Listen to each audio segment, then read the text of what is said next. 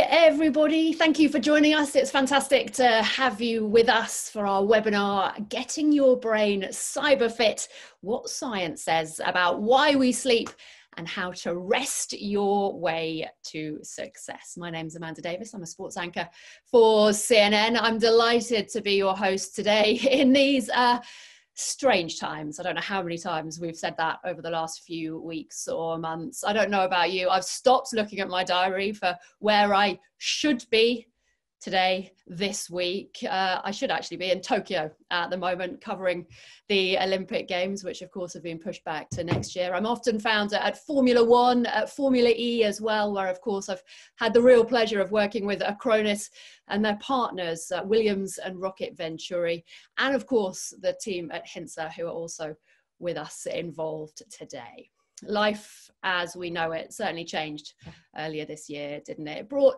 new challenges to all of us. So, this webinar is all about not just being cyber fit in terms of protecting data from cyber attacks, but also about the importance of being physically and mentally ready for the new reality. Being cyber fit used to mean just making sure that your online presence, your online community was safe and secure, but it means so much more now. Being cyber fit at Acronis means more than just protecting your data. And during today's webinar, we're going to have a look at how Acronis can help you, partners, and friends during this period of change. Uh, just before we kick things off, though, as always, a few housekeeping notes. The conference is being recorded. We're going to email you the link to the recording afterwards so you can share it with your friends and colleagues who can't be with us live. Your microphone will be muted throughout the event, uh, but we have a Q&A interface here on Zoom, so please do send us your questions through that. Uh, we do, really do have a fantastic lineup of speakers for you today, starting with Serguei Beloussov, the Acronis founder and CEO. Next up, we've got Dan Sims, uh, a senior performance coach at Hintsa, and they're both going to be joined by John Kirkpatrick, head of strength and conditioning at Sale Sharks, and James Leinhardt, CEO at Levitex Foams Limited. So before we get to the agenda, one quick disclaimer. All of the information that's going to be provided in this presentation is for informational purposes only. It doesn't constitute the providing of mental health advice. It's not intended to be a substitute for independent professional psychological or psychiatric advice, diagnosis, or treatment. But hopefully, you will find uh, more than a few things to take away and find useful and implement into life. Here's a look at how the next hour or so is going to pan out for you. Serguei Beloussov will be discussing what Acronis is doing to adapt to the pandemic. We'll then hear from Dan Sims, who'll be discussing the science of sleep, trends in sleep, and how and why we often overlook the importance of sleep and recovery as a society. Then we have John and James. They'll be having a look at the importance of recovery and share some more practical tips on sleep management as well. So let's not waste any more time. I'm going to hand you over to Serguei Beloussov, the CEO and founder of Acronis. He's also the CEO and founder of the Schaffhausen Institute of Technology, an international research led institute located in Switzerland. So over to you, Serguei. Thank you, Amanda. Uh, very glad to be here. Let me share my screen. Um, it's a standard presentation. I think many of you have seen it, but Acronis is a cyber protection software company, which is a artificial intelligence powered cyber protection, cyber cloud and cyber platform. We are headquartered in Schaffhausen, Switzerland, and we have a second international headquarter in Singapore, um, uh, it, it uh, was always our strategy to have a dual headquarter uh, to provide um, dual protection to our customers. Perhaps for the first time, it uh, actually made sense is during this pandemic because even though both Switzerland and Singapore reacted to this pandemic um, uh, relatively well, they reacted very differently and at a different time. And being in two places allowed us to be uh, better and more um, uh, active for our partners and customers We are medium-sized company. Uh, we're growing rapidly. Even during the pandemic, we see very good growth. Uh, and, and in some areas, our business grows faster. I'll talk about this in a moment. Uh, we are very present in almost every uh, large company. We have 50,000 uh, partners and we serve over 500,000 businesses, large businesses, small businesses, and medium businesses. Uh, we also provide software for prosumers. Um, uh, we are call ourselves global local present. We believe that it's very important for protection to be present in every location for our customers, especially during this pandemic. We realize that our production infrastructure may be somewhere else, but for protection, we need to have something in our country and perhaps in our state and perhaps in our region and perhaps in our uh, city. Digital world um, is uh, everything around us. Digital world is really um, um, becoming part of every uh, business and every personal process, but it has major challenges. Digital workloads are very mission critical, and yet uh, they are very fragile. It's very easy to delete bits. It's very easy to copy bits. And there are these five challenges in protecting uh, digital world. Uh, one of them is complexity. There is very large number of systems to protect already today, and it's gonna uh, grow more than 10 times in, in 10 years. Um, there are also um, a very large amount of data already today to be protected, and it will grow also over 10 times in 10 years. Just one uh, autonomous car um, is uh, capable of generating four terabytes of data per day, and as such, more than one petabyte of data per year. Uh, security um, is a major concern. In the cybercrime is industrialized and organized. Um, artificial intelligence is used both by good guys and bad guys, and there is almost no way for you to avoid security exploits. Um, and then the other thing which is becoming very clear that it's important, and we see that it will become even more important in the coming years, is privacy you have to be protected, including from those wonderful platform vendors like Microsoft, Google, Amazon, Facebook, and Apple, because your privacy is under constant attack. And not only there are these four things protecting digital workload, but also digital workloads now are mission critical. Without IT, we cannot function, especially during pandemic like this. We believe that the only solution uh, to uh, such complexity, cost, and such challenges is integrated and autonomous cyber protection with minimal participation of humans, uh, being able to operate in any requirement. And that is our mission in Acronis to protect all data, all applications, and all systems.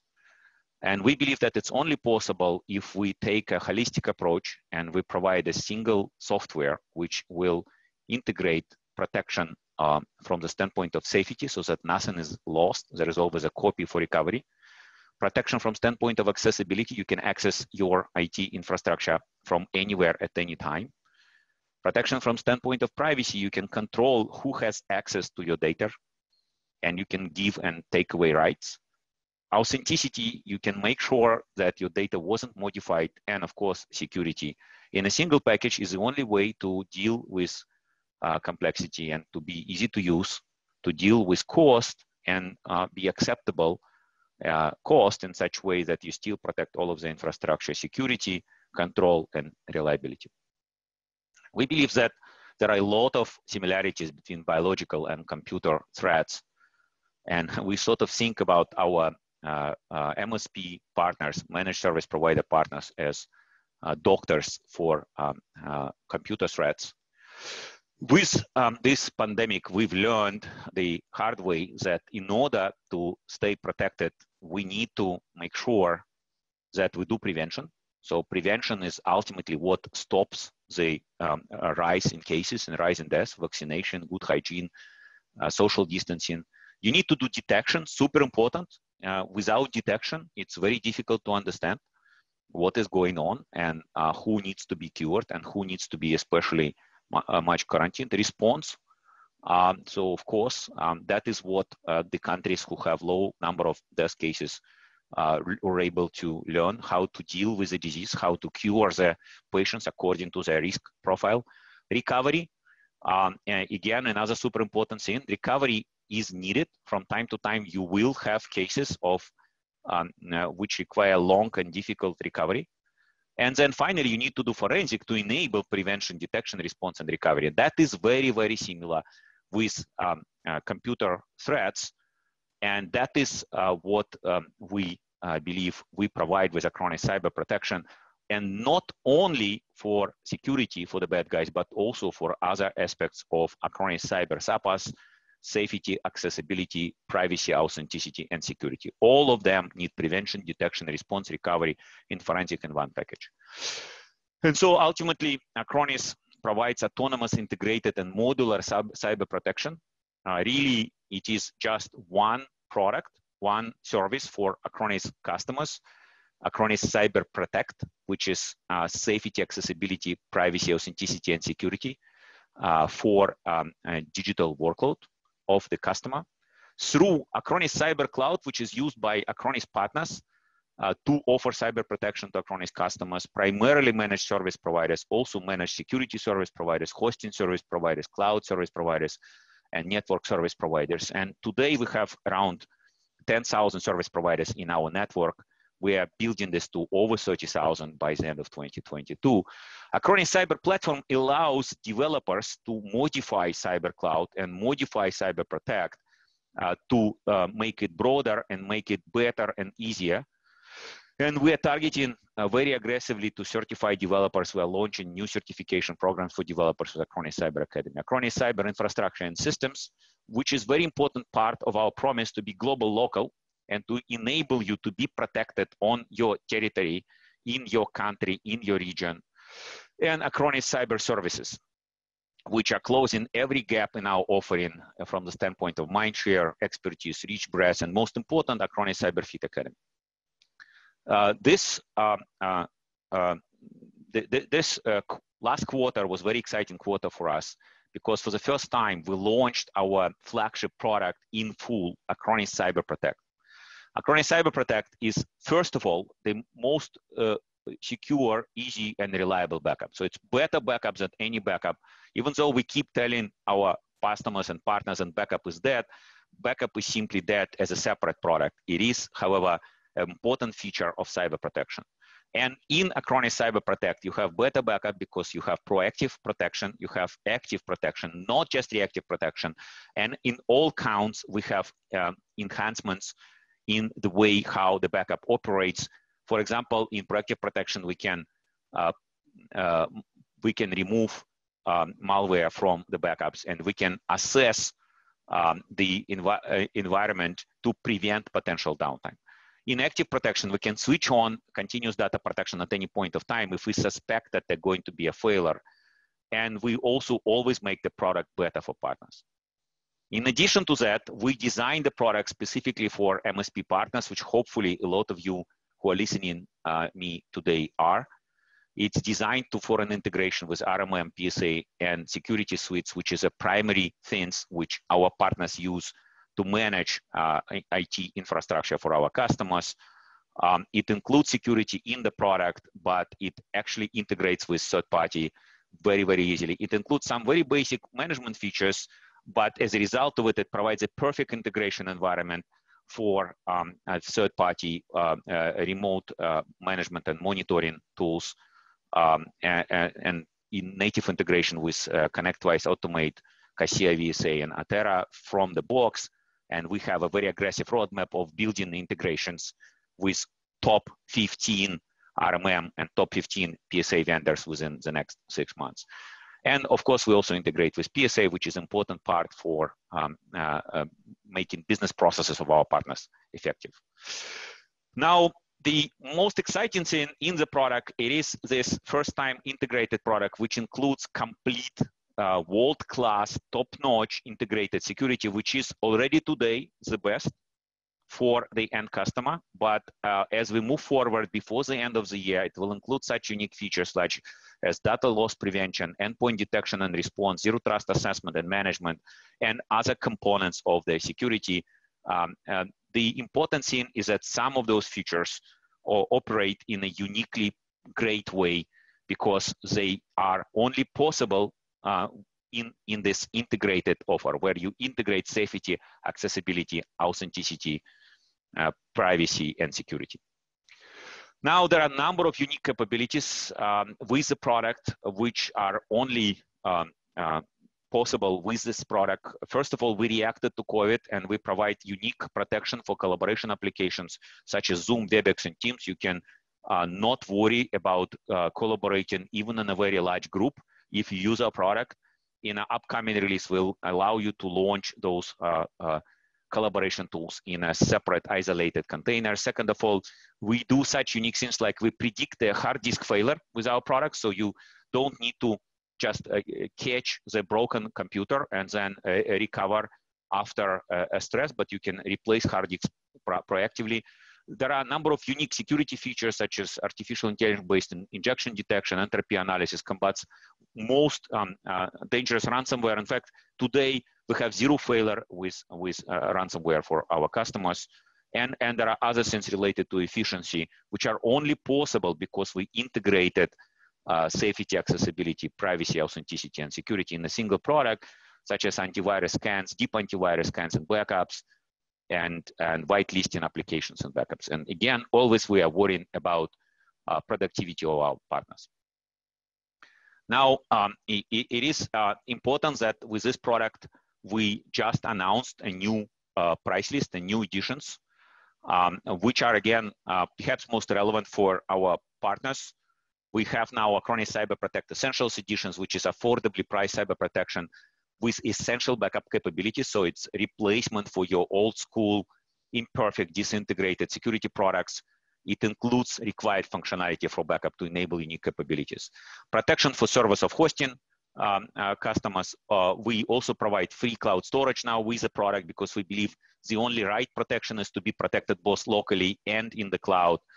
Uh, extremely competitive price list. And even with that price list, we are launching very, very aggressive uh, uh, promotion from the very start of the launch.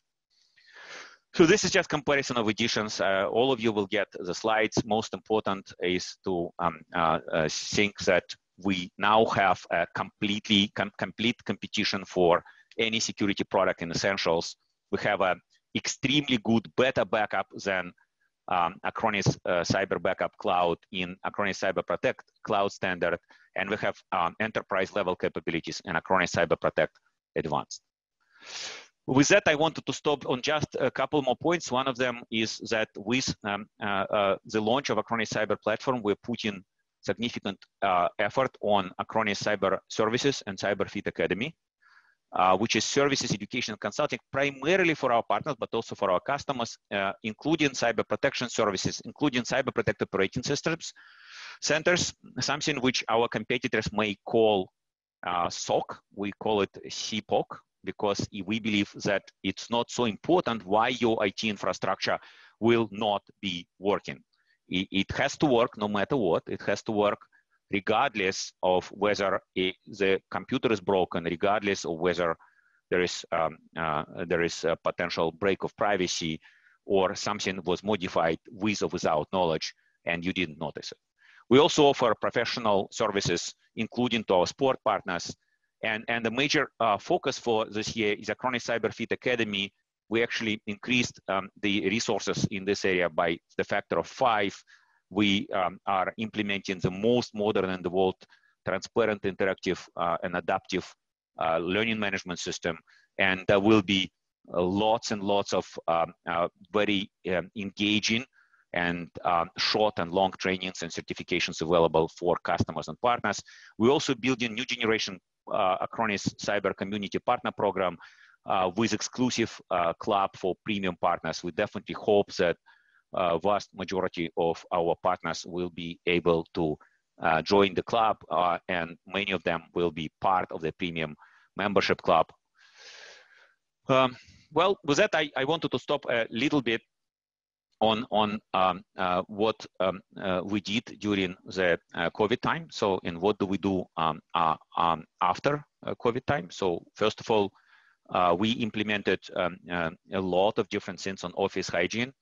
You know, it's the generally unprecedented time, so it's not so clear what's going to happen with the uh, offices in the future, but we um, uh, in um, uh, supplied masks, sanitizing gels, wipes, disinfecting lamps in every office. We increased the number of cleanings by the factor of three or five. We put the social distancing marks.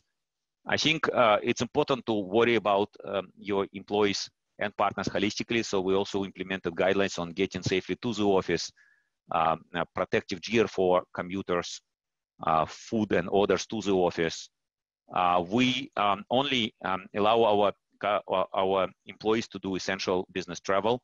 Of course, uh, travel policies right now are confusion all over the world. Uh, confusion even for me. I, I travel the least amount of time in the 28 years of business career uh, of mine. And um, we, of course, um, done a lot of um, work um, in improving productivity at uh, in in in home offices um, and and uh, scheduling presence in the office. Um, we also invested in um, productivity at home, um, efficient communications, uh, alignment, performance, and measurement. I have to tell you that unfortunately, for me, even though I liked our blue, navy blue uh, uh, cyber offices a lot, I was mm, unpleasantly surprised to find out that the productivity of Acronis overall grew 15 to 30 percent uh, with um, working from home. Not sure how sustainable it is because, of course, people do need to meet and communicate from time to time. Uh, but uh, for now, uh, the working from home is not bad at all. Now, one other thing which we tell to our partners and customers is that um, now there will be um, much less restrictions.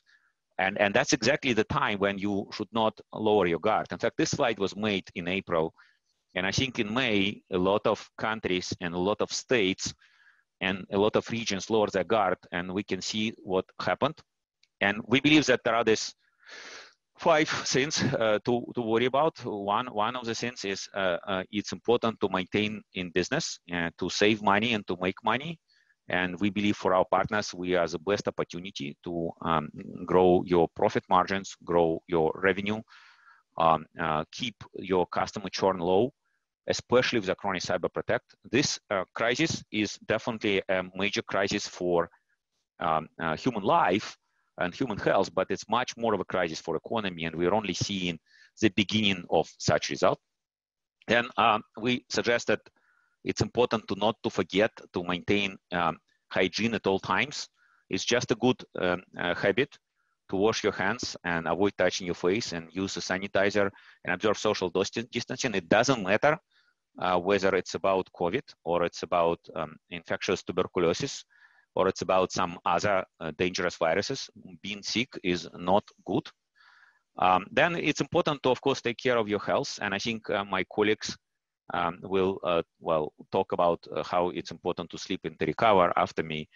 Uh, for me, this was an amazing period. I've actually brought back my weight as of 20 years ago and I've exercised on the average uh, several hours per day while working. In my offices everywhere, I've installed different uh, new generation uh, machines. And amazing thing when you work from home, there is nothing which prevents you from working and exercising. In fact, after I finish this uh, speech of mine, I will stand on elliptic machine and will walk for probably 33 minutes uh, while listening to the rest of the presentation. I, I do think it's important uh, to not keep your guard low and to keep uh, being prepared with supplies. I think uh, it's always possible there will be a second wave, and it's always possible that the virus will mutate and the wave could be more deadly or uh, more dangerous for health otherwise. And, and so keeping supplies uh, for any kind of attack like this uh, by biological virus is good. And then, of course, it's important to stay protected uh, from the cyber standpoint. Just look at what happened with Garmin I'm sure there is many users of Garmin, and you know with Acronis Cyber Protect, um, recovery would take minutes, not days and not weeks. And and these attacks uh, they will happen more and more often because it's just a new reality, uh, especially with um, quarantine and social distancing. It's much easier to do cyber crimes than to do physical crime. and we're to have much more um, cybercrime happening.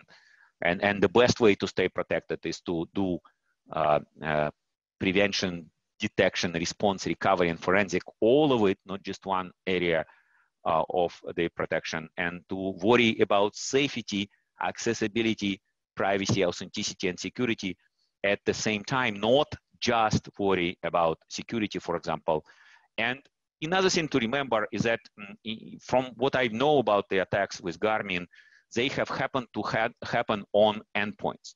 And so a lot of the large businesses, a lot of the partners, they worry about protecting server infrastructure, uh, protecting the data center, but not worried about protecting homes, protecting mobile, protecting desktops of their employees. Everything needs to be protected from all the five um, vectors of protection in all the five ways and at, at all times. Not um, protecting uh, one of the workloads is like leaving an open hole uh, in, in, a space station. Uh, it doesn't matter where it is, uh, it will be bad enough. With that, I wanted to announce this new initiative, which we launched together with Acronis Cyber Protect, where you can check your cyber fit level this is a free utility which you can get from go.acronis.com.score. Uh, it will access your device and will actually uh, um, uh, tell you what is your cyber score.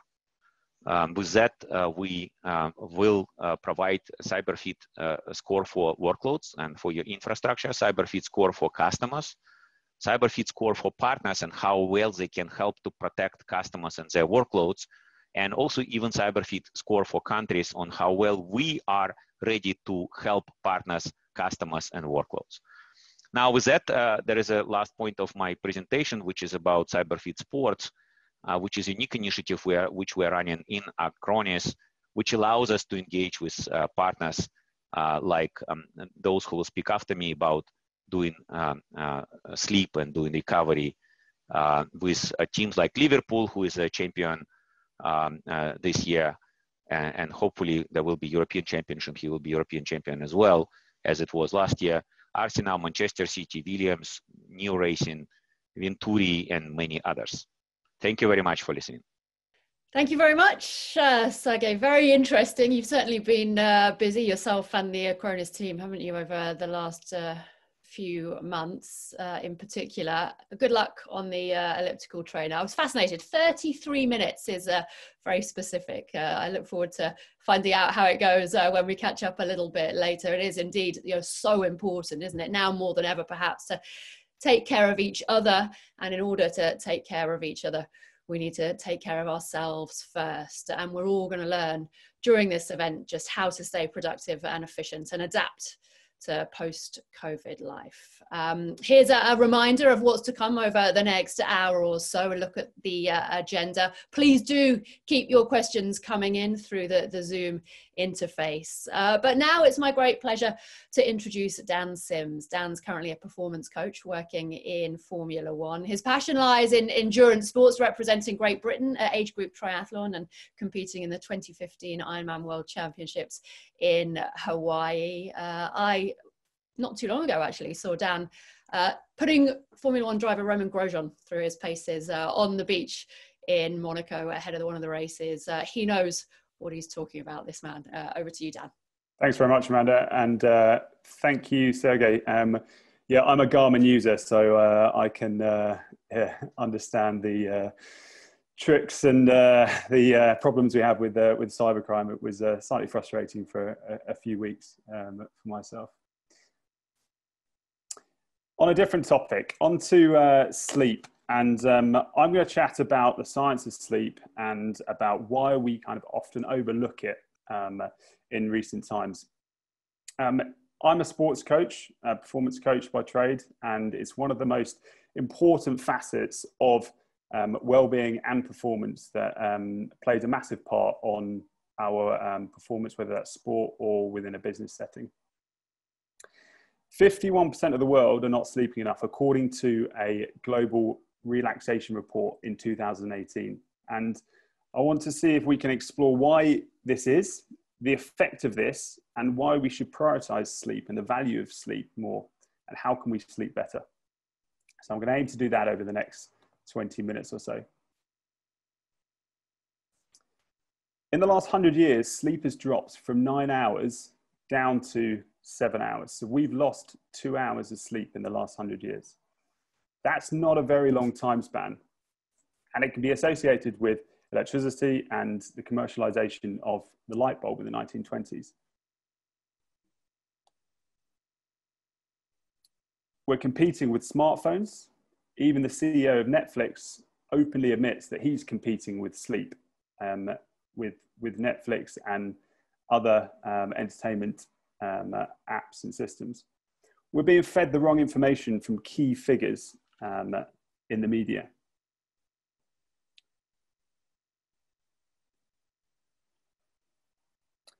As a result, 20 to 30% of Americans get less sleep than six hours um, per night. And in much of Asia and Japan, it's even, even worse than this and even lower than this. So what, Arnie might say, he only needs six hours. And a lot of people say this. They say, I feel absolutely fine on, on six hours sleep. Well, they've done studies on this. And sleep takes place over 90 minute cycles. Now, we have periods of slow wave sleep where the body rejuvenates itself, and this is more for the physical side of things. And we have periods of REM or rapid eye movement sleep, which is where the brain regenerates and recovers. Now, if we sleep six hours instead of eight hours, we're missing a big chunk of this rapid eye movement sleep. This sleep where we dream, where we consolidate our thoughts, um, our brain rejuvenates, um, and where we make connections and, and develop our learning. So we're missing a huge chunk, which potentially um, can be quite devastating for mental health and for cognitive performance. But you may say again, you feel fine at six hours, and you may be used to operating um, after six hours sleep. Well, they've done studies on this as well. And over um, four different groups, they looked at zero hours of sleep, four hours of sleep, six and eight hours uh, for two weeks for the, the, the, latter three groups, and just for three nights for the poor people only sleeping, uh, well, not sleeping at all um, for, for three nights running. And they found the following three things that sleep debt is cumulative. So after one week of um, the six hour group sleeping, um, only six hours, 25% of them were falling asleep at random times during the day. The second thing they found is that sleep debt impairs our performance. So for, as you'd expect, for people not sleeping um, at all, um, their reaction times got worse over the course of the three nights as was the case in the four and the six hour group, um, and the eight hour group stayed about the same. Even if you're sleeping six hours a night, which people perceive to be okay and feels okay, well, after two weeks of doing this, it can be the equivalent of, of being awake for 48 hours. So you have the same reaction times as being awake for 48 hours. So we're not performing optimally. And the dangerous thing is we don't realize this is even happening because as you can see from this graph, is that after a couple of nights, our perception of sleepiness starts to flatten out. So if you look at the six hour group and the four hour group, we actually feel okay. Nothing changes after, after two or three nights. We get used to this feeling of being, of being sleepy. So sleep impacts our performance and we don't even realize it. Sleepiness increases accidents. But 30% um, increase in work accidents happen at night. 20% of vehicle accidents related to sleepiness. So sleepiness is comparable to being drunk. After 19 hours of being awake, and if we've had a long day and got to bed late, that's, that's doable. Um, blood alcohol concentration was, was 0.05%, um, which is legally drunk in, in some countries. On the flip side, good sleep can improve speed and accuracy in physical performance. And this is something within sport that we're really keen on. Um, so 10 hours per night led to basketball shooting percentage increasing by 9% um, and an increase in sprint speed as well. This is some personal data um, of a athlete of mine, a young um, motorsport driver in Formula 3, actually sponsored by Red Bull and, and Honda named Yuki Tsunoda. Um, he's now in Formula Two.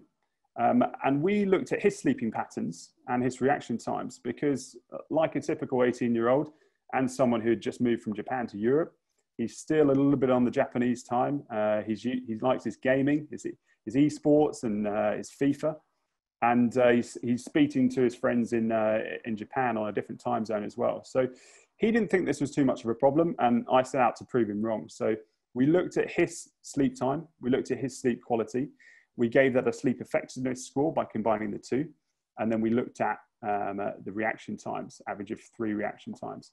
Um, and after a few weeks, you could see quite clearly that when he started to focus on his sleep and got his best sleep for a while, early at night, uninterrupted, he recorded some of his best reaction times by 0.2 of a second and even half a second compared to his worst um, time.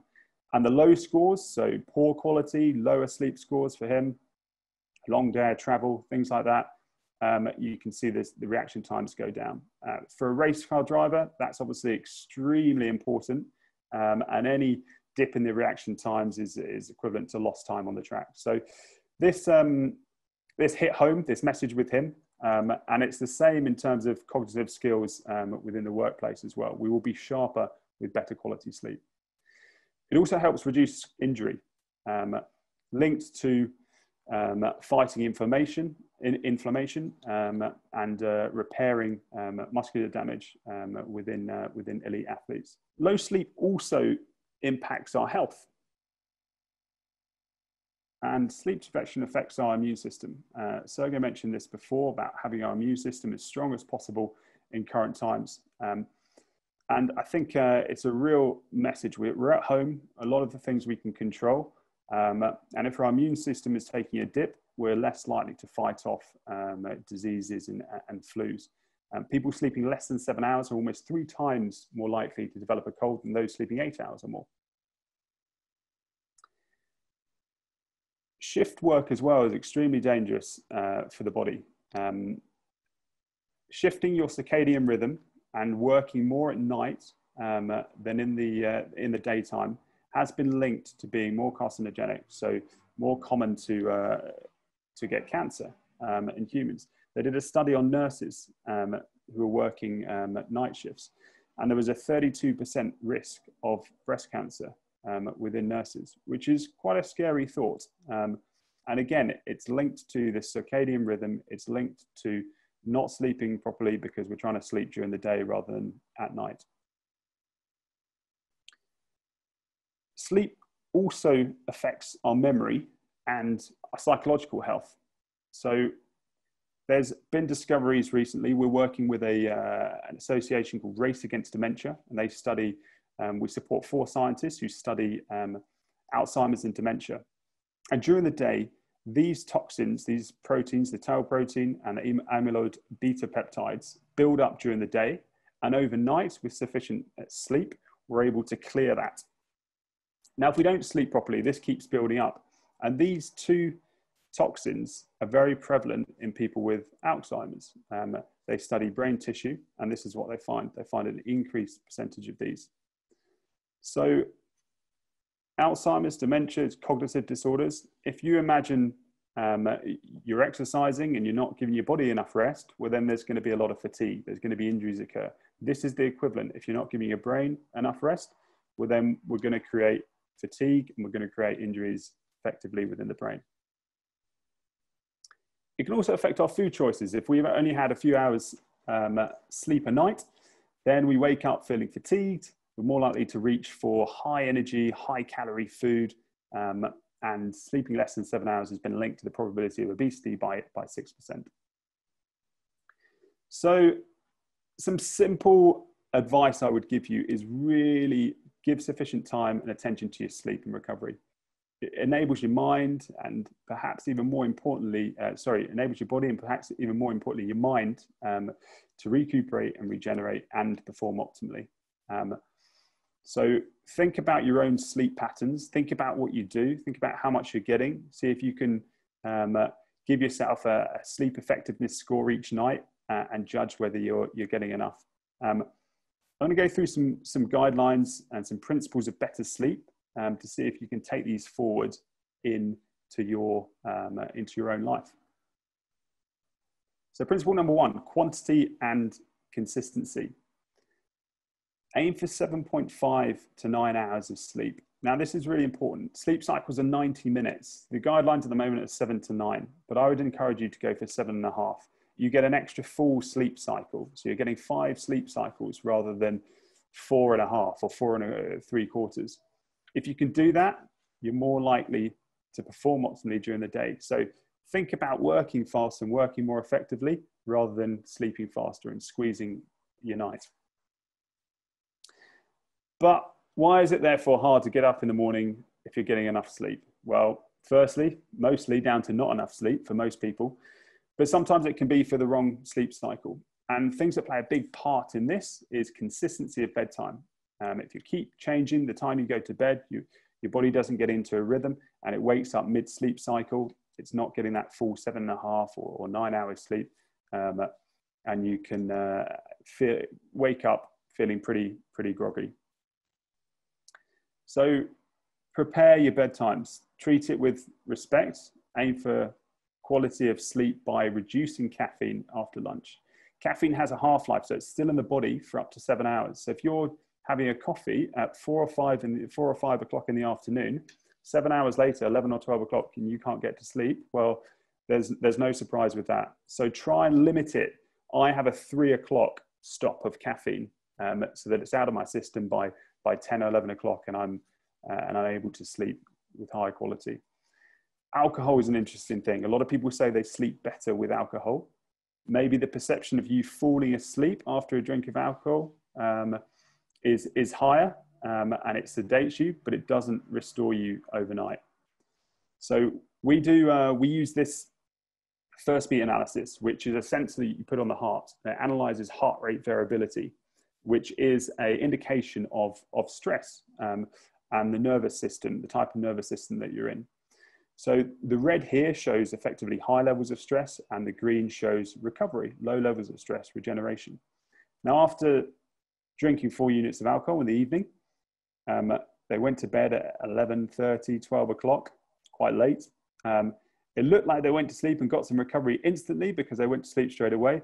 Then the bodies up and getting disrupted by the alcohol in their system until four o'clock in the morning. And they're only getting any regenerative sleep for potentially three hours, okay, which is clearly not enough. Try and turn your devices off as early as possible. It can have a similar effect to, to alcohol. It can trick the body into thinking that it's daylight again. And instead of going into that regenerative state on the previous slide, you actually stay awake and, and it's harder to um, go back into the recovery mode. So it suppresses melatonin, which is the sleep hormone. So we're designed to sleep when the light goes down, the sun sets. So try and dim the lights. Try and reenact that in your own home if possible.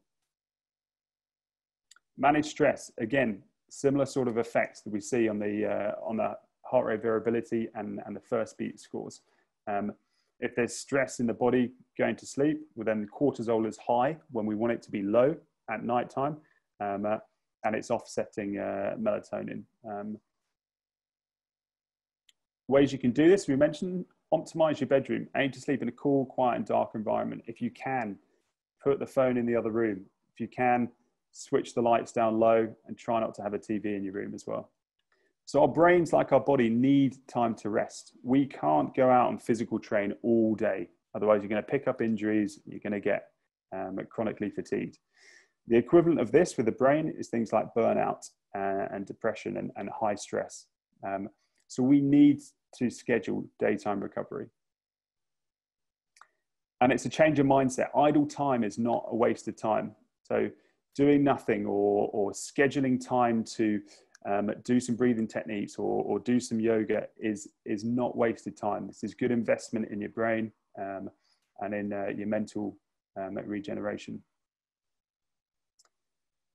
If we don't, back to this slide, this person has zero recovery during the day and it becomes a lot of stress, a lot of load on the body.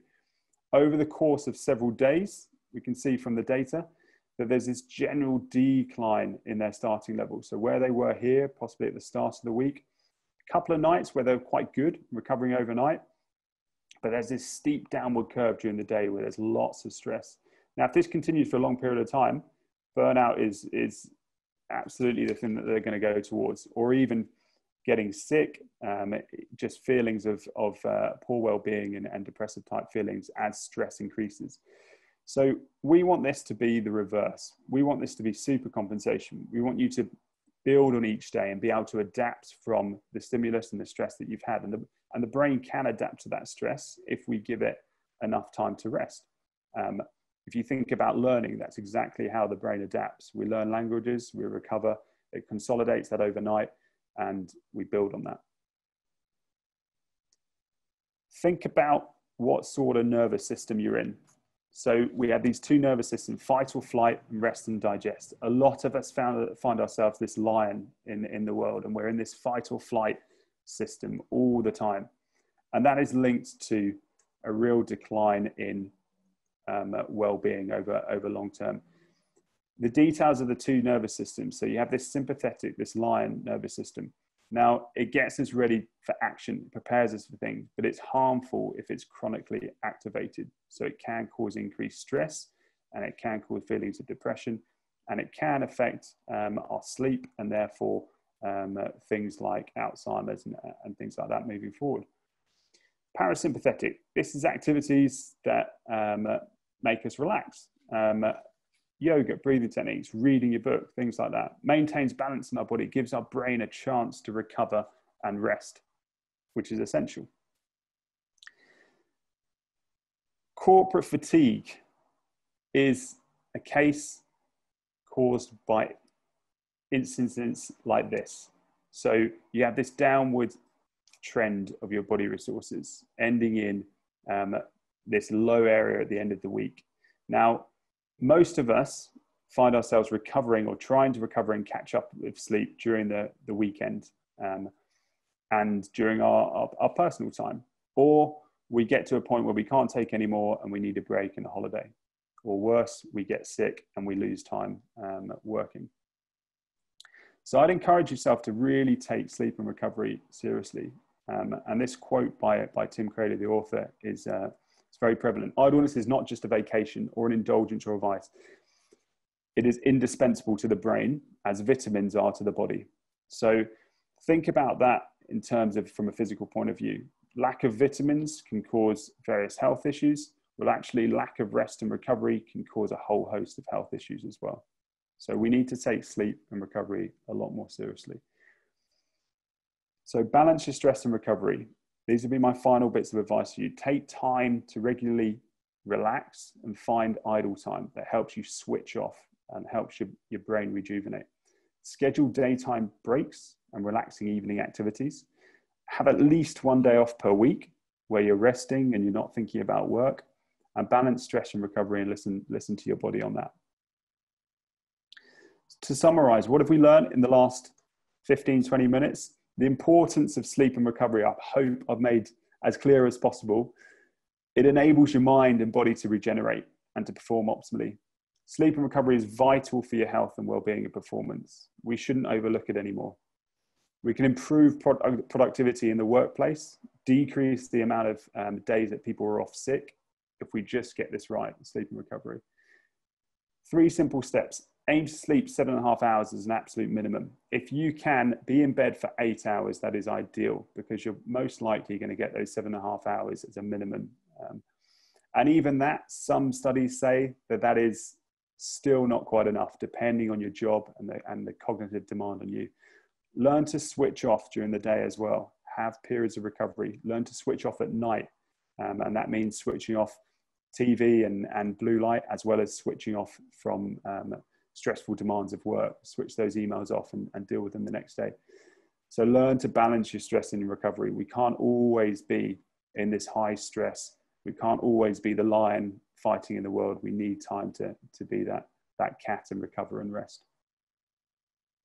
It's been a pleasure speaking to you about sleep. If you have any questions, I'm going to be around at the end.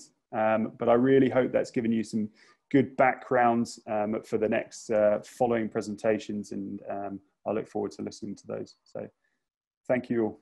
Thanks so much, Dan. Uh, fascinating stuff. And, you know, lessons more important than ever really to to try and remember as we've got the kind of school home office life all combined uh, into one uh, for, for so many of us. Um, let's just have a look at uh, the rest of today's agenda to keep us all reminded uh, where we are. That was Dan Sims, of course, who uh, has spent a, large part of his career working in, in motorsport, Formula Formula One uh, in particular.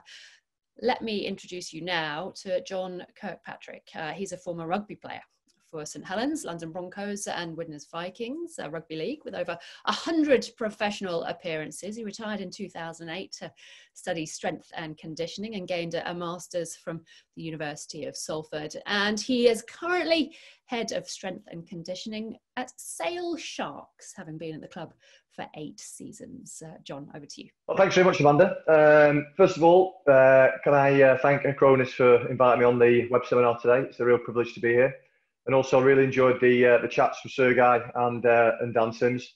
Some really good information there. So uh, thanks very much, guys.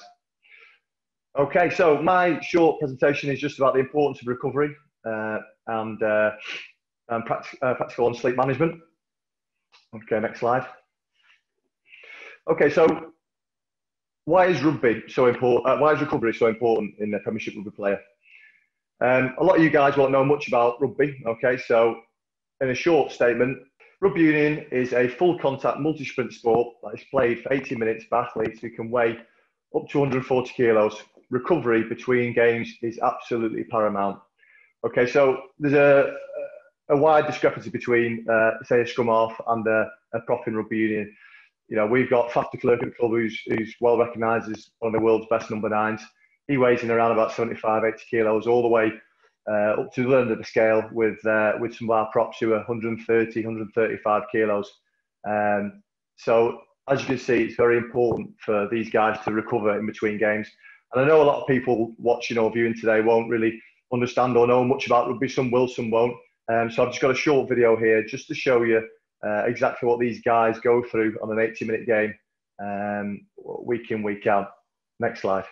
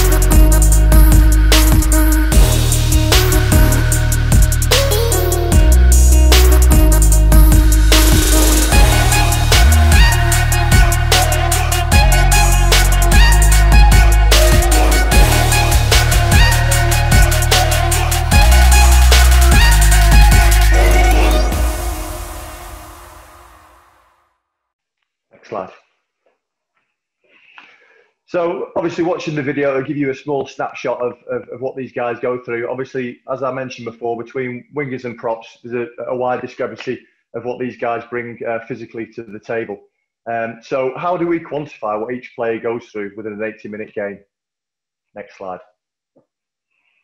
Okay, so, so just some stats here. I mean, the way, the way we do it is, is we have a, a fantastic analysis team at Sale Sharks um, and those guys um, look at things like tackles completed, carries, scrums, uh, breakdown, gay, uh, breakdown, line, um, line breaks, um, and the players can can access this information almost instantly, um, and the coaches obviously access as well.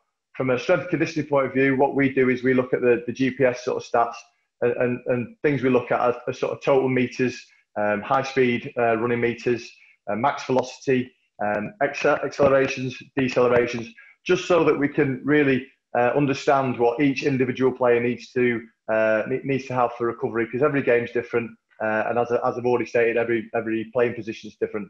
So just have a look at some uh, some of the stats um, that we provide the boys with. Is uh, so, for instance, in a in a in a, in a, in a, more intense game, some of these guys can run between 5k and 9k uh, for total duration. Um, high speed running meters in the games, more predominantly done by sort of wingers, fullbacks, your faster guys, maybe between 700 and 1,000 metres. Uh, max velocity, um, again, focusing with the wingers and the fullbacks. These guys run between 10.5 and 10.5 metres per second. Now, what does that mean in sort of layman's terms? Well, that's up to sort of 37.8 kilometres an hour, or in old money, 23.4 miles an hour. Um, again, in another intense game, accelerations are up to 70 times, and that's quantified and um, uh, over over three meters per second. Decelerations up to 36 times, and again, that's uh, three meters per second decelerations. Next slide. And uh, obviously, the, the, the running duration, the running load on these guys is something we have to monitor carefully when we're recovering. But we, you got to really look at the sort of impacts these guys take as well. So um, tackles per game, we, have seen up to 23 uh, tackles in a game. Ball carries per game up to 18, and then collisions, uh, you know, in total 59 per game. So it really is the case that after after these guys guys play on sort of Friday, a Saturday, or a Sunday, it really is sometimes like being in a bit of a car crash for the, for, for the guys when they come in on Monday on Monday morning. Next slide. And there we go. Okay, so uh, yeah, we're up to 960. So actually, in actual fact, you, you were right. Our pack it, uh, uh currently is 960 kilos. So you can imagine two packs going uh, head to head. Uh, the other pack similar weight. You can really see the sort of forces and also understand the sort of strength and conditioning these guys need to undertake to be able to withstand these forces. Um, not, not, not just in game situations, but in, train, in the training weeks as well. Next slide. So, how how we schedule our training to maximise recovery during the during pre-season period. Okay, so next slide. So the best way for me as a strength and conditioner, obviously I've got to work with the coaches closely.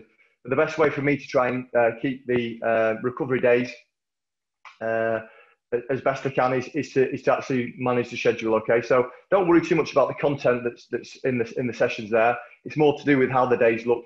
So day one on the Monday, it'll be our installation day. Okay, so it'll be about learning. Um, we'll do uh, some speed and agility work there, uh, and after that, we'll do some some some lower some lower leg weights. Um, but it, but for the guys, it, it's a it's a fairly laid back day in terms of you know the amount of uh, amount we're asking them to do. Our second day will then be uh, our short and fast day, and we will include within that obviously they'll do upper body weights in the morning, but we'll include within that uh, conditioning to increase high speed uh, running meters. So a lot of the, a lot of the things we see in games in terms of high speed running meters are quite hard to achieve sometimes within just rugby drills. And obviously the rugby coaches have got their mind just set on uh, you know skill levels, all that sort of stuff. So it's up to us to really sort of um, make sure we're hitting the, the targets we want that we see in games. Um, so we'll, we'll, often increase um, the, the, the running meters there by, by interjecting conditioning within that. After the two days on, we'll take a recovery day, and then on the third day, we'll again, it'll be more of an installation day, but it'll be increased in terms of its intensity. So we'll be making sure uh, the squad know the know the job roles under a slightly increased um, uh, pressure. The last day is uh, almost like our game day. Obviously, in pre-season we don't have any games, so our last day is, is where we really want to um, replicate what we see in games, um, and we do this by um, it's our multi-phase day. It's unstructured in nature to replicate intense periods in games. Um, conditioning to increase fatigue to test the players' skill and decision making. Um, so often what we'll do is we'll condition the squad, um, two or three blocks of conditioning before we go into some rugby blocks, and uh, we'll give the coaches uh, parameters to make sure that we are uh, achieving the meters per minute we want. Uh, we're achieving the high speed running we want, and if we don't get those um, uh, those things boxed off within um, the sessions, then we will add conditioning at the end to make sure we achieve those things so that we're, we're, we're slowly but surely uh, preparing the boys for the, the game type situation. Okay, next slide. How we schedule training weeks to maximize recovery uh, in season. Okay, so this is this is a, this is quite important in terms of making sure that uh, the squad arrives to the game in, in peak condition um, so again, um, on the Monday, we uh, bear in mind we would have played on the, the previous Saturday, um, three o'clock kickoff. Okay, so Sunday would be home recovery options, and I'm going to speak further in the presentation about your home recovery options. Um, and Monday is, is treated like a recovery day because we know it's still only 42 hours since since the, the, the playing squad played, and we you can't get too much out of those guys. So on the Monday, it will be uh, for the, the lads who haven't played, but, but a recovery session um, for, for, the, for the guys who have played longer minutes. Um, on the Tuesday, uh, still uh, a detailed day, still still not putting their foot down on the on the pedal, so to speak. Um, learning preview for for preparing for the end of the week when we we've got another game. Our Wednesday is our uh, short and fast day. Okay, so we'll we'll condition those guys again because it's kind of safe. It's safe to you now. We're we're we're, we're above 65 hours uh, post game, so we'll we'll work with some short conditioning blocks. For the backs, we'll work on some speed. For the forwards, we'll work on some off the ground, some contact conditioning drills, um, and that will prepare us and make sure we're ready to operate that game intensity come the weekend. Uh, recovery day, so the guys get to bring it back down again. And then our last training day before we play will be our captain's run day and this will be fast and short, no more than 30 minutes, um, just really going through the plays, making sure that the timings uh, are, are, right for everybody, everybody's job role, and then we will play on the uh, on the Saturday. Next slide, please. Okay, so recovery protocols at Sale. I've already mentioned and talked about how that scheduling has a massive impact on how we recover uh, the playing squad. Uh, it allows me to have control over that. But what do the guys do on their recovery days? Next slide. So this is uh, this is the road to recovery uh, that we use at Sale Sharks. Okay, it's a hundred point system, and this will predominantly do, be done on the Sunday um, and the Monday. Um, and the guys are asked to asked to get up to hundred points um, to make sure their recovery uh, is, is, is is done efficiently. Okay, so within that we have compression garments, uh, we have uh, family time, personal uh, downtime. I know Dan's already spoke about how you've got to shut down and make sure you're not in that sort of um, overhyped state all the time. Um, in-house hot and cold contrast baths. So again, the, the, players can do some of the players can do that at home. Full night sleep, massively important to sleep, and I'll, I'll, I'll talk about that further in a minute. Um, active recovery, 20 minute bike ride, yoga, Pilates, um, swim in the pool. Uh, foam, uh, foam roll, hockey ball, again, soft tissue work, really important uh, for, for, the guys to do. Um, and then sauna protocol. And then following the match day, recovery sheets, uh, food and hydration. Again, I'm going to talk a little bit further about that as we go through. Okay, next slide. So just uh, just to zoom in on, on, on some of the, the things the guys will do, uh, recovery protocols is your sauna. We ask them to do four times uh, 4.5 minutes with intermittent cool showers. Regular fluids must be consumed to manage hydration levels. Uh, ice baths, 8 minutes, 10 degrees, uh, 11 to 15 minutes, 11 to 15 degrees and then we use contrast. So just your hot and cold baths, uh, three times two minutes sauna, two minutes jacuzzi, two minutes cold shower baths. Um, you know, the guys the guys use these. It makes it makes the legs feel a lot fresher. Um, in the past, we have used uh, cryotherapy chambers, which which uh, some have really rated and some have not rated at all. Um, but just currently, this is the the protocol we're going with. Next slide. Okay, so three crucial focus areas uh, of recovery at Sale Sharks. Uh, nutrition, obviously a massive, a massive area. Uh, hydration, and then as, as, as, Dan has gone to talk about, and James will talk about after me, uh, sleep, absolutely a massive area and something that's probably not um, as uh, not it's been, it's been researched thoroughly, but it's, it's something that's not uh, at the forefront as much as the other two. Next slide. Okay, so once we once we had a match day, uh, our recovery would, would go like this. Okay, so with uh, rapid intake of protein, carbohydrates, fluid, and anti- antioxidants. We use a product called Cherry Active, um, and it, uh, you know the antioxidants in there helps the muscles to recover um, after they've uh, partaken in an intense uh, either training session or, or game. Uh, recovery shake, protein and carbs, 500 mils of water, and as I've already said, the Cherry Active. before bed, uh, continued stack on high protein again helps with the recovery of the, of the muscles. Um, pre uh, and th- things uh, things like that. Uh, you know, uh, granola, oats, muesli, yogurts, milk, cherry active again, uh, fresh berries, omega threes. next day again high protein and carbs. So trying to trying to um, trying to get the players to to really regenerate in terms of you know the, the muscle damage that they've incurred from the game. Um, and then foam roll, apply compression garments that we spoke about in the, in the previous slide. Um, next slide. Okay, so some of our players at the club have different um, goals, as you, as, as, you, as you can see. There's a wide variety of, body shapes uh, and weights within, within that squad, as I've already alluded to. So uh, our main focus is on uh, fat loss for some guys who need to really trim down a little bit to make sure they are as fit as we want them to be. Guys who need to increase muscle mass, um, and, and we, we, we, we know there's gainers, uh, and then and then obviously guys who just need to maintain. Um, so we have a nutritionist working with the club, and he's uh, he's excellent at sort of really working one on one with these guys and making sure that the nutrition side of things um, really feed into the recovery as much as as much as we can. Okay, next slide. Okay, so recovery, uh, immediate recovery, repair, refuel, rehy- rehydrate. Around the, the the club at Carrington, we've got all these all this branded up, so the squad constantly know uh, you know, the red is for repair, the, the yellow is refuel, the red is for rehydrate.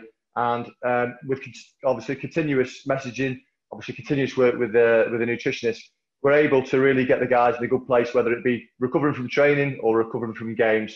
Um, it's such an important element that, that uh, you know, it's, it's one of our main key focuses at the club. Next slide.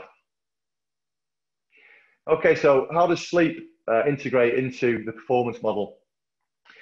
Uh, hydration, conditioning, mental preparation, nutrition. I've sort of touched on all them other four subjects. With the sleep, again, it, it's not my area of specialty, but I'm lucky enough to obviously work with James uh, at Levitex, and he's done a fantastic job of, of, of, talking to the academy, talking to some of the senior boys about how to uh, really optimize their sleep and, and to, to, to, to use the sleep as a performance tool. Uh, next slide. So areas affected by poor, uh, poor patterns of sleep.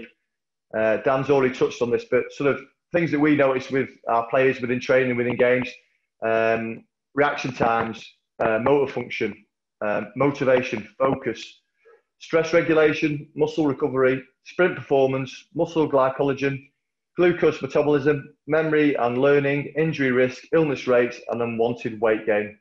So every day before the, the squad come in for training, they fill out a well-being form. And on them forms, we uh, we ask them their sleep quality and their sleep quantity. And every day they report that to us. And it just helps us manage um, manage the athlete in terms of understanding why they might be down on some of these areas, why it may be affecting them. And we found since we've been working with Levitex, it's been really, really good, and and and the and the, the squad as a whole have improved on their uh, their sleep quality. We're, we're seeing much higher uh, RPE scores um, for, them, for them coming through. Next slide. Okay, so just some sleep tips uh, implemented, as I said, from Levitex at Sale Sharks. Um, so a consistent sleep routine is, is, is, crucial. And obviously, with the academies and the, the junior sides, we try and implement this as early as we can so it becomes just part of their routine that they do. Uh, and we find as they come through the age age ranges and into the first team, it, it's something that we don't have to sort of introduce them at that stage. Then they're already doing it. Um, a good one for anybody, whether you're an athlete or not, reduce phone, television, tablet time in the evening.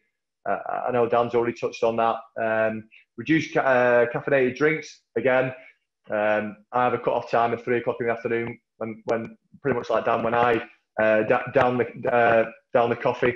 Uh, I don't have any more because uh, uh I do find it affects me in the evening. Uh, manage stress by not working late into the evening. Now, with rugby players, a little bit different, but the amount of analysis that goes on nowadays is uh, is, is huge. So you find you find with the squad that they, they are watching the clips late into the evening. If they've had a particularly bad training session, it affects them in that way, and then they don't sleep, and then they're they come in the next day and they're reporting really bad well-being scores. Um, so that's something we try and push home to them as well. Um, when we're travelling away, we obviously we're, we're, based in the north. Um, we spend quite a bit of time in, in London. Um, so when we on our away trips, uh, we tell all the squad to take their pillows with them, just to try and try and make it a bit more familiar in terms of the sleep pattern. And we also make sure that the, the, they've uh, adjusted the, the temperature in the room for 18 to 19 degrees for that optimal sleep. Um, couple of apps that the guys use that they've reported really, really good things from. So a couple of uh, a few of the boys use um, uh, Headspace app. Uh, this app's based on sort of uh, uh, meditation. Um, tends to relax the guys before they go to sleep. They've reported really positive things from it. The Wim Hof app, breathing and relaxation, again, reasonably similar, reduces mental and cognitive stress, which is, which is, as we know, is key in, in getting a good night's sleep. And then I touched on it earlier, but we had a period where we used cryotherapy, and um, the squad did report, on the whole, much better sleep patterns when we're using that.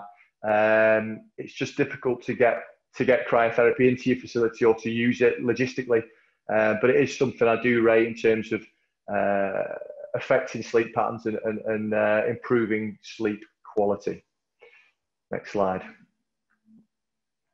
Okay, so thanks very much for listening. Really enjoyed, uh, as I said, enjoyed the last two uh, presentations. I hope you took something from mine. It's something a little bit different. Um, thank you very much. Thank you so much, John. Uh, fascinating stuff, a real insight into uh, what it takes, or part of what it takes to, to put together a, a, professional uh, rugby union side. And I, for one, the point I took was uh, optimal temperature for your room to sleep 18 to 19 degrees i always have that dilemma when i walk into a into a hotel room do i put the temperature up or, or put the temperature down. And uh, if you speak to my mum and dad, there's always a constant battle going on between them as to whether it's going to be a hot room or a, or a cold room. Um, here's a reminder of what else we've got coming up. Uh, three fantastic uh, presentations, still more to come. Uh, and time now to introduce you to a man who got a big build up there from John, uh, James Leinhardt. He's CEO and founder of Levitex Foams and Posture Care and has dedicated his work working life to helping critically injured and acutely, acutely ill patients with their postural care in bed. Working with therapists throughout the NHS and local authorities, James uh, saw the benefits of maintaining a good sleep posture firsthand and realised that nobody was talking about it. And as I've said that, I've realised I really must sit up uh, at my desk. Uh, please don't judge me. Uh, James, over to you. Hi, everyone. Nice to meet you all. Um, and as Amanda said, I, the majority of my career has been spent working with posture with uh, patients suffering with complex neurological conditions. And we've taken science and, and, and brought it to the fore. And as John said, we are proudly the, uh, the official mattress and pillow uh, providers to Sale Sharks. Um, next slide, please, sir. Uh, next. So, as John as John rightly said, and uh, potentially nicked my slide, but we're going to forgive him. Um, within the human performance model, we are considering um, not only hydration, nutrition, conditioning, and mental preparation, but also sleep. What we found most interesting uh, working in sports is that the players that we work with generally tend to know how much how much uh, protein they've eaten of a day, uh, their hydration levels, conditioning, mental and physical conditioning is, is at the forefront, but yet sleep generally tends to be the first thing, um, as Britain's strongest man told us, the first thing that people are likely to give up. Uh, next, please. And if we take it back to those unquestionable drives for the survival of our species, next, we're going to be talking about, uh, next please, Andre, eating, drinking, reproduction, and of course sleep. All totally relevant and absolutely required for the continuation of our species. Next. So when I give the talks to the, uh, the sports clubs that we work with, um, these are the four questions we often ask, ask elite sportsmen. How often do you fast? And the answer is normally never. And when was the last time you didn't drink a glass of water all day? Uh, John will assure you that not one player at Sale Sharks has ever failed to drink a glass of water in a 24 hour period. And again, the last week, week you went without a week of training. So, okay, during lockdown, maybe there's been um, some alternative um, training regimes, but invariably, all those players are continuously staying fit and they may or may not have a week off, but invariably, they're coming back to John. But yet, you ask the question and there's always a giggle in the room. How many of you have done an all nighter? And invariably, whilst the coaches and managers and S&C coaches are staring at the players, they will, with sheepish looks, tell you that indeed they probably had one relatively recently. Next. Andre? Next. Thank you. However, um, as Dan was saying earlier, the, the chronic sleep loss two, two to four hours a day we've seen from 1910 uh, to 2010, as, as Dan said, uh, we've lost two hours a day. And, and we know that this can degrade performance to the same extent as 24 to 48 hours of sleep loss. Uh, next. Our background, as Amanda mentioned, is more in uh, the NHS and local authority. And if you were to go into any GP surgery, any hospital, uh, anywhere in the UK, you'll find pages and pages on the importance of healthy eating. There will be adverts about uh, reducing your sugar intake and eating five a day, and, and many other um, methods that the, the local authority and government and, and, the powers that be will try and encourage us to improve our sleep, uh, our eating habits. Next. And, and, and on, on a consumer level, you've all seen these men's health magazines with invariably with bodies that none of us uh, are likely to ever achieve. But the importance of healthy eating often plays a role on most of the front covers. Next. Same again with drinking water. National Health Service is very, very keen for you to drink water, two to three litres a day. Um, and all this, all this advertisement, you'll see it if, like I say, if you go to your local GP, if you go to your local hospital, you will see these posters. Next, please.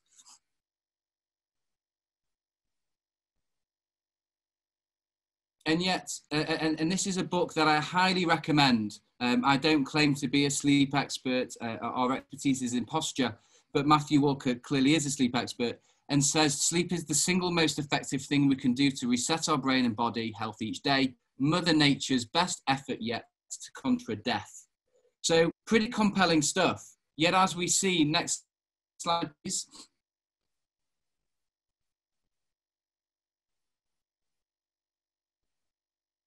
That's as much as we get when it comes to the importance of sleep.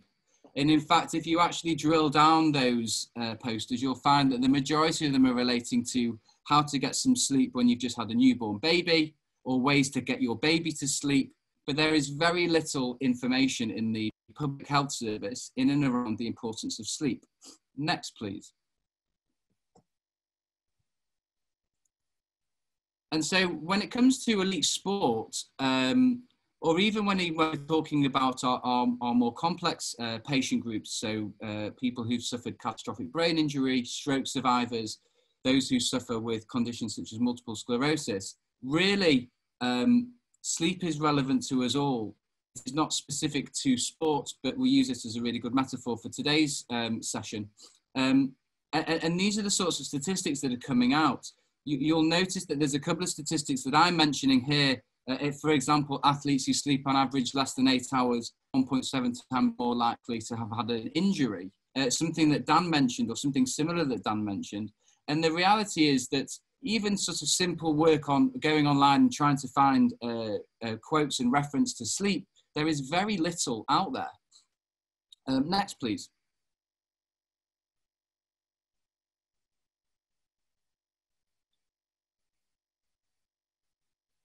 And here just, here just highlights the point. So uh, I think Dan mentioned it before, five hours sleep and the likelihood of injury is, is, um, is 60, 60%. And as we go to nine hours of sleep, we're looking at an injury rate of about 18%. Next slide, please.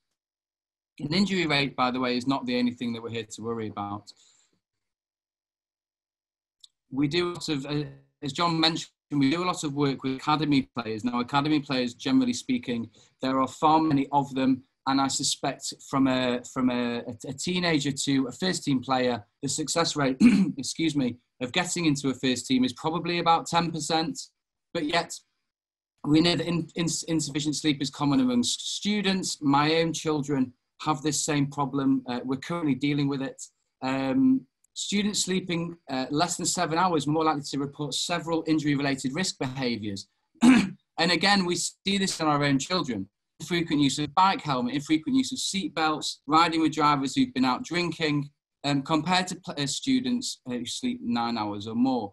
So this is a this this is this is a universal issue and a, and a problem that's going to deal with. So injury rates often are coming off the back of uh, choices. Uh, next slide, please.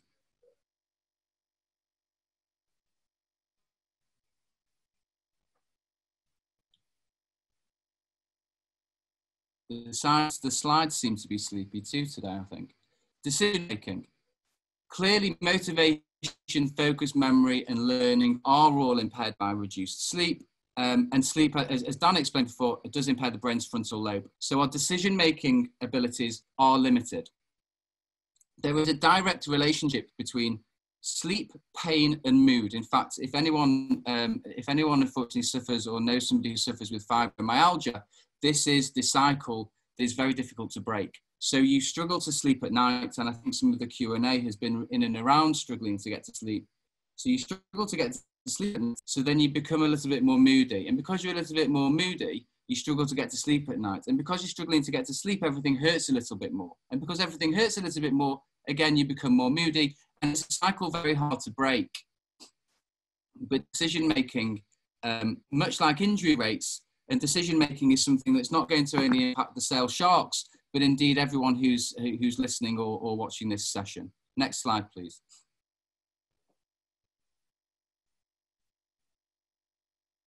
Measures of athletic performance specific to basketball were recorded, and and and, and there was evidence to show uh, it, improved, it improved uh, sprint time and shooting accuracy.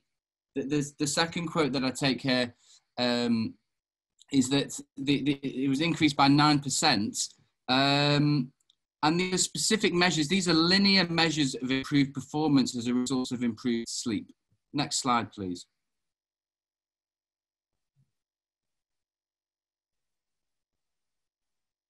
As I mentioned, um, and I think John actually mentioned, while sleep is a real to the benefits of sleep, into the science of sleep, um, you can see here that um, sleep deprivation was shown to have a negative impact on bench press, leg press, and deadlift exercises. And we work with a number of weightlifters, for example, where that's really quite a keen uh, issue to be worrying about. But you can see that the quote um, that I refer to, quote, that it, it just further highlights the point that sleep is, whilst, whilst we know is the single most important thing in terms of the rehabilitation of a sportsman or sports person, and is probably the single important thing in terms of the rehabilitation of a stroke. Everyone is also equally relevant to that, that theory. The, we're looking at from 1990. Next slide, please.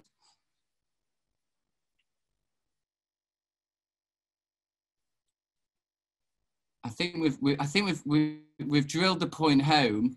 So I think you, chaps in, in the session are either going to be drinking more tonight or sleeping better. Either way, we know that there is a compar- you know there is a comparison between uh, sleep deprivation and being intoxicated by alcohol. And I suspect no athlete, whilst whilst many athletes that we've worked with have admitted to doing an all-nighter, I suspect very few athletes um, find themselves on the training pitch or, or certainly in professional competition, um, intoxicated with alcohol. And I, and I suspect nowadays, if they were, um, there's very little chance of them having a long standing career. Next slide, please.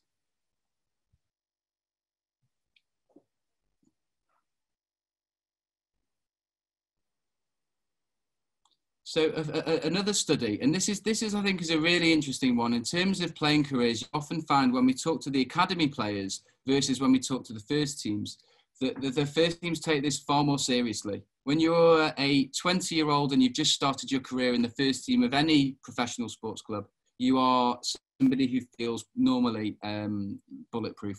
But as the career progresses, and, and actually the majority of our work is done with former rugby players, so those players, and you saw from John's slides the sort of damage that, and, and, and the effects that their bodies uh, are put through with, with rugby.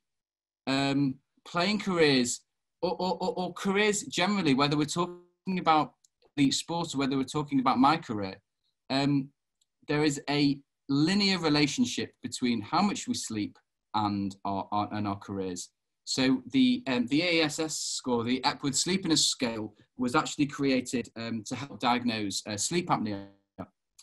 And in simple terms, players who had a better score uh, were, were, were, there was 72% likely to be uh, um, the same level of their of, of their ability a year later. Whereas those players with a with a with an ES score uh, uh, of 10 or 15 had far less chance. Um, and, and it really was a linear decrease in a career um, in, in playing career longevity. Next slide, please.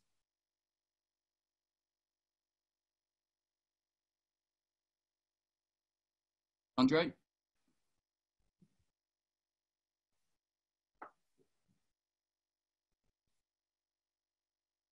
I don't know if any on, on online today are snooker fans, but one of the most famous um, matches in, in recent history was with Graham Dott, who um, was actually losing, I think, by about 15 rounds, um, came back and ended up getting level and finally, unfortunately, losing uh, the final. We'll have a video uh, just to show you the interview after that brutal game.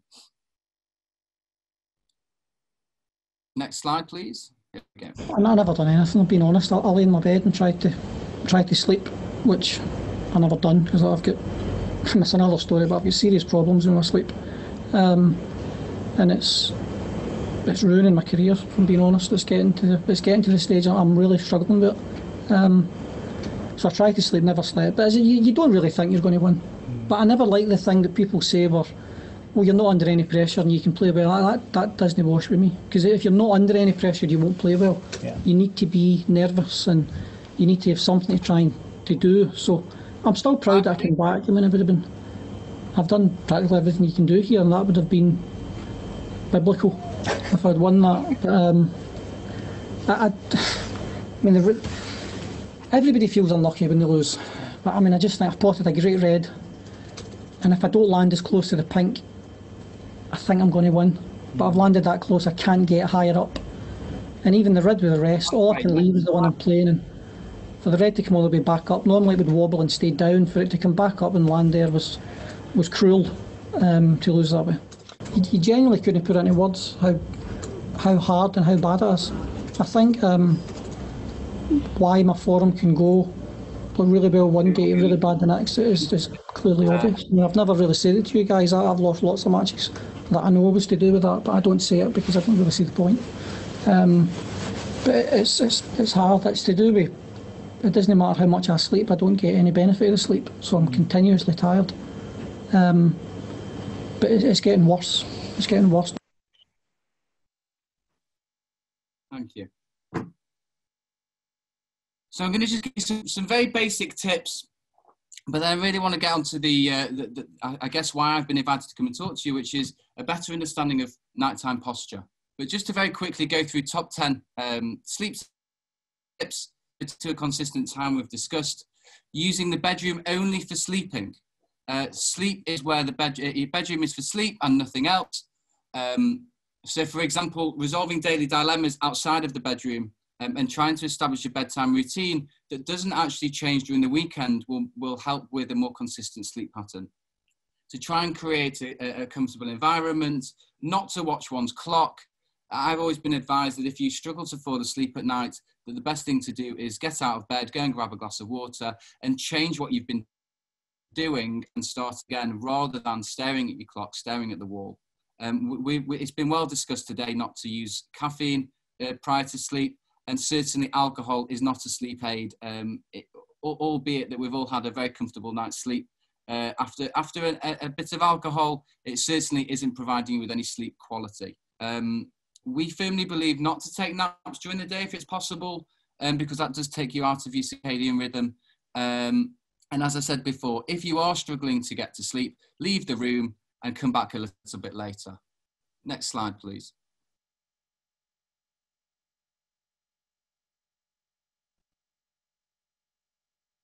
And here's really where, where, where Levitex and, and, and we come into play. Um, we are experts in posture. And yet, um, you know, you will see lots of adverts for different products online, but yet the 26%, the, the single biggest reason why we don't sleep, and this is, a, this is a, um, a quote from the UK Sleep Council from a couple of years ago, remains to be that we are uncomfortable in bed. Next slide, please.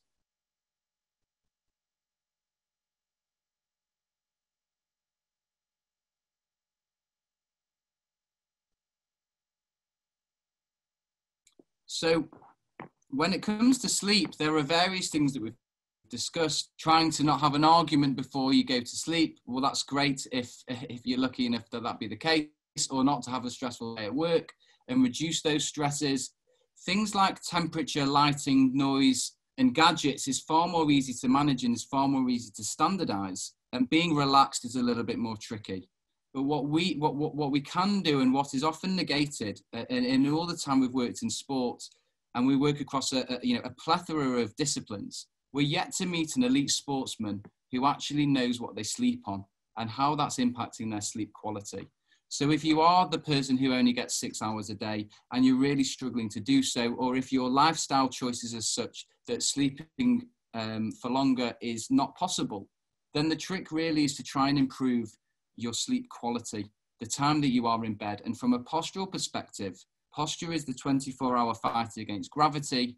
And so, as you can see, my, me now, even, as a postural expert, leaning over my desk, my makeshift desk, as we deal with our uh, corona um, changes.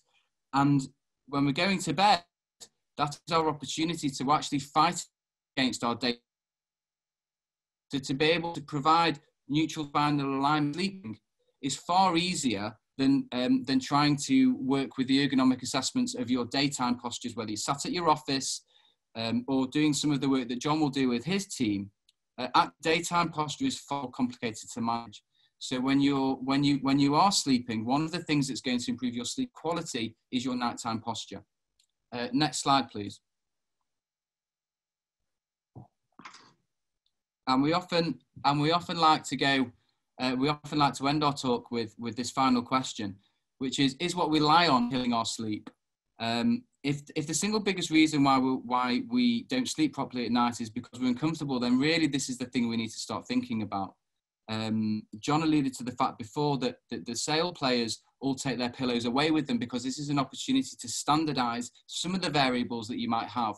Um, you will have seen, unfortunately, Tokyo never happened, but the Olympic Village in Tokyo had planned to use uh, paper beds uh, uh, as, the, as the bed of choice for uh, some of the greatest uh, sportsmen of, of, the world has to offer. Um, I'd like to thank you all for taking the time to hear what I've got to say. If you have any questions, please add them to the Q&A. And I believe um, this is how we're going to end. If you told an athlete you had a treatment that would reduce the chemical associated with stress, would naturally increase human growth hormone, that enhances recovery rate, that improves performance, they would all say yes. Sleep does all of these things. Thank you. Thanks very much uh, indeed, James. Uh, some fascinating stuff there. I'm going to ask James to stay there. And if John, Dan, and Serguei could now uh, turn on their cameras and microphones, it is time to answer some of your questions. Uh, Serguei, I have to ask you first how was the 33 minutes on the uh, elliptical trainer? I can show you where it is. So you see, this is my office, right? So I'm here and then I have this machine which is right there, uh, which is just next to my, uh, you know, next to my uh, place. Excellent. And I just stand on it and use the iPad uh, and listen. So I did 33 minutes. It's very, very quiet. It's called Keiser. It's short stride. So if I'm talking to somebody important, I uh, take a very low effort so I can breathe normal but if I'm talking to somebody um, uh, internal uh, or a friend, I can take very strong effort, so I can breathe and sweat. And so, why 33 minutes? Precisely? I don't know, just like numbers. It doesn't make any difference. Sometimes it's 11 minutes. It depends on, on how much time I have. So listen, I have to I have to ask you. Um, there was the the the uh, slide that Dan brought up in his presentation, uh, which really resonated to me. And it, it seems to have been in recent years become more and more of a trend that people take a real matter of pride in the fact that they can survive on so little sleep and they're working so hard that they only slept two or three hours last night. You mentioned you know, the importance of taking a holistic approach to business. How much do you think that this last few weeks, few months is going to change how businesses like yourselves at Acronis. yeah, deal I think what, with with health and well-being uh, and change their approach to these things? I, I think it's uh, quite interesting, but as I mentioned, in the last 28 years in business, I've never traveled so little. Uh, so I've been in Singapore for three and a half months, and then I've been here in Italy uh, for um, uh, one and a half. Uh, and and one thing which I found out, and that's one thing which also affects the sleep pattern, is that the traveling wasn't so necessary. That one thing which happened is that all this uh, travel which I did was actually more productive if I were to set up a very good studio, which I have here with a professional camera and light and the background and big screen in front of me and I can do a whiteboard and whatever. And so that's one thing. And I think a lot of people will realize that. Then the second thing, which is also in, interesting, is that the offices are not so necessary. So we all go to office, but really after COVID, I started going to office and I realized that I lose productivity. While I come to office, I cannot talk in the elevator, you know, then I go back from the office, I need to go for coffee, people come in, come out.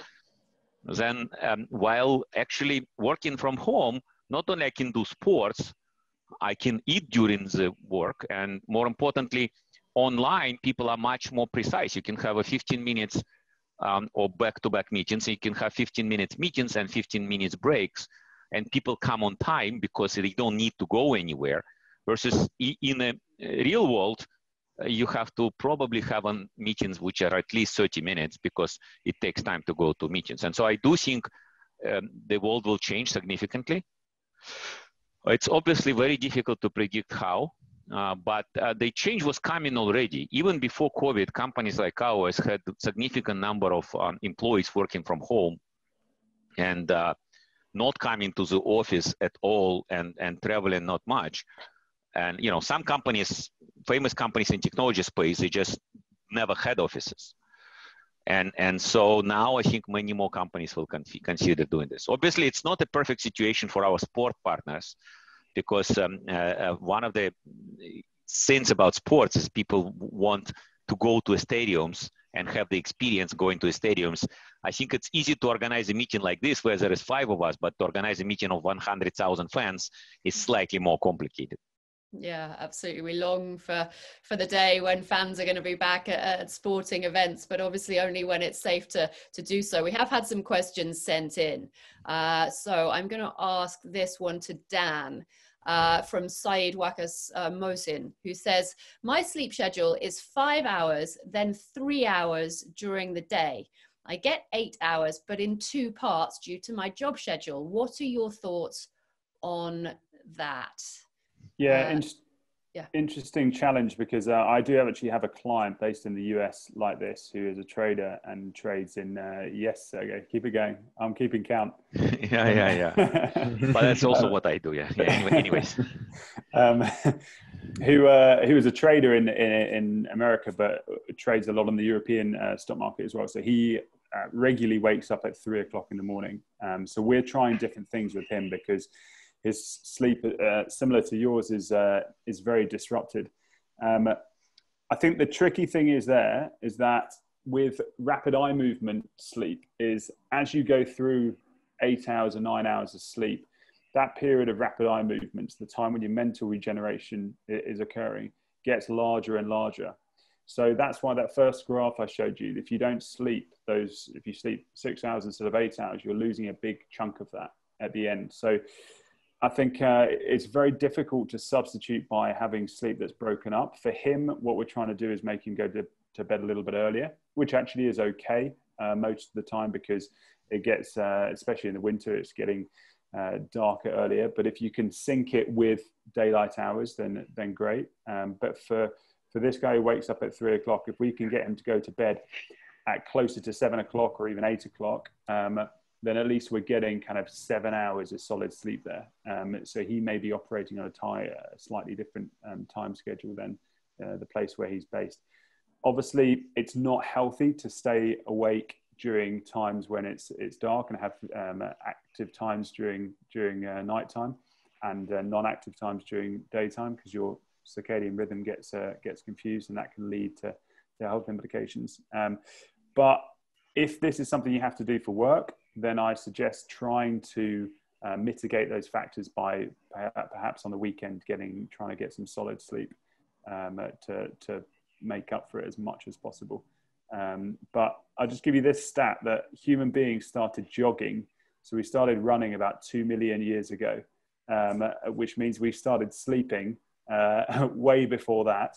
Um, and we're adapted to sleep um, when it's dark.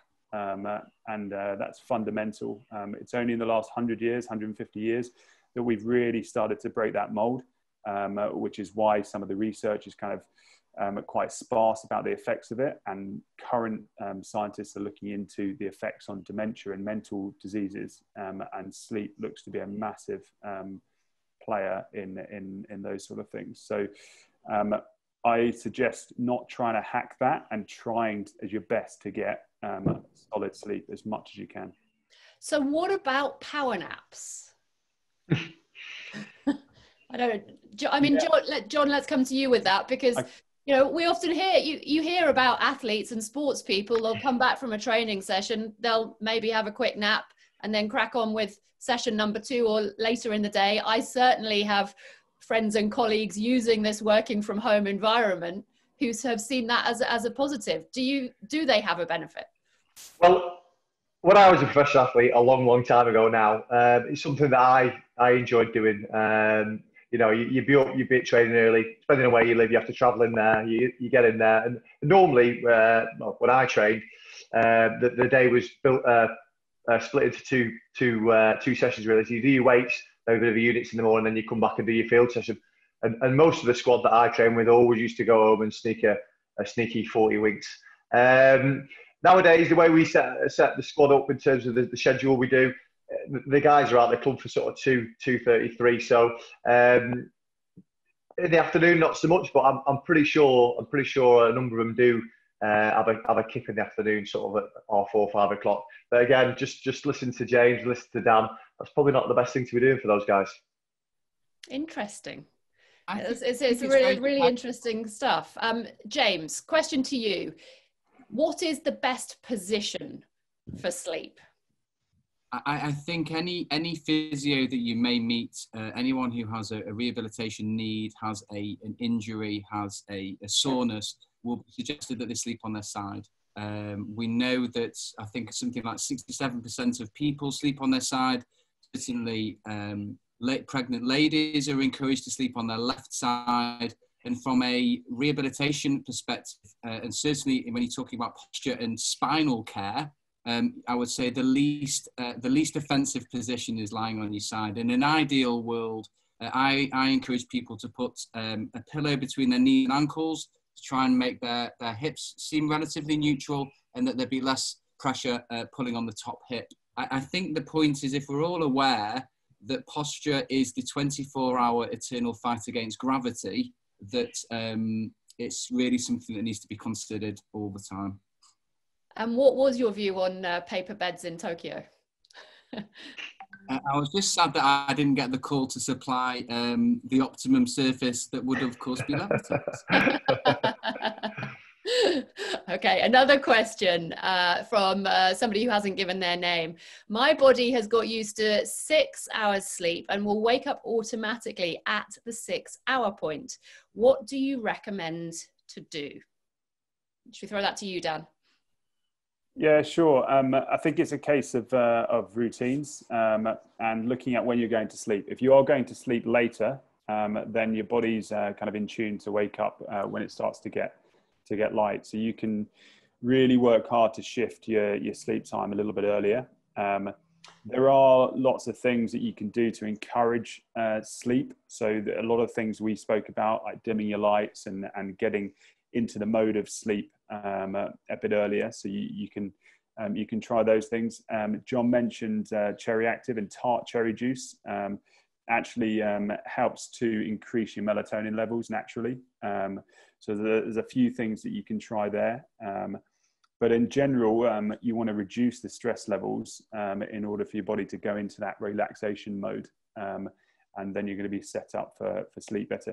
It takes a bit of time to change routines with anything, like any sort of training program. So I would say try and set up a routine where you're getting that eight hours or eight hours in bed.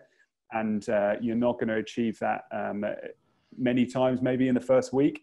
Um, but over the course of weeks and, and months, um, you can definitely, if it's a consistent bedtime, um, start to kind of train your body to do that. Your body's very trainable. When we change um, time zones, for instance, it's quite um, you can adapt quite quickly to to those different time zones. So definitely look at the times you're sleeping, and it could be could be down to that. Okay, I'm afraid we are pretty much out of time. So a huge thank you uh, to uh, all of you watching for your questions. A huge thank you to our speakers for your fantastic presentations and your time. Thank you to Serguei, uh, Dan, James, and John. Uh, before we go, I want to point out an upcoming event. There it is, August the 19th. So we're going to be looking at how office workers can reduce stress and improve mental strength. There is more information as ever on the website acronis.events. Uh, that's just about all we've got time for today. But before we close, feel free to join the Acronis Global Cyber Summit in October from anywhere on any device and free of charge. You can register to the Global Cyber Summit on acronis.events forward slash summit 2020. And also if you wouldn't mind and you feel uh, so inclined, uh, we very much appreciate a donation to the Acronis Cyber Foundation Emergency Relief. It's a chance to build and support schools in developing countries around the world and very close to everybody's hearts at Acronis. So uh, you will all be receiving an email of the recording of the event short, shortly. Uh, hopefully, we've managed to shed some light over the last couple of hours uh, on the notion that staying cyber fit is more than just protecting data and staying safe from cybersecurity threats. It's also about that holistic approach we've been talking about to your fitness and not overlooking your physical and mental health as well. Thank you so much for your time. I hope you're all staying safe and well. It's been uh, fabulous to have you as part of the event and see you soon. Goodbye.